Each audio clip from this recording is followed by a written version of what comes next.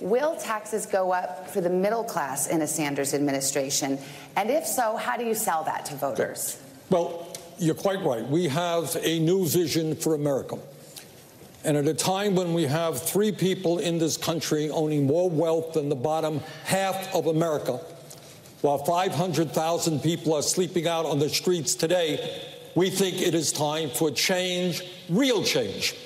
And by that I mean that health care, in my view, is a human right.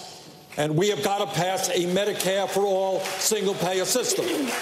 Under that system, by the way, vast majority of the people in this country will be paying significantly less for health care than they are right now. I believe that education is the future for this country. And that is why I believe that we must make public colleges and universities tuition free and eliminate student debt. And we do that by placing a tax on Wall Street. Every proposal that I have brought forth is fully paid for. Senator Sanders, I'll give you 10 seconds just to ask the, answer the very direct question. Will you raise taxes for the middle class in a Sanders administration?